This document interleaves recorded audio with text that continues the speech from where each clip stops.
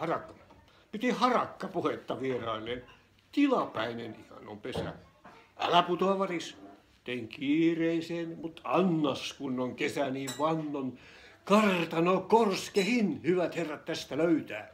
Ei metsässä moista, sen näettekin. Hoi muori, pötyä pöytään. Vaan ennen kuin harakka huomaskaan, jo putosi syksyn lehti.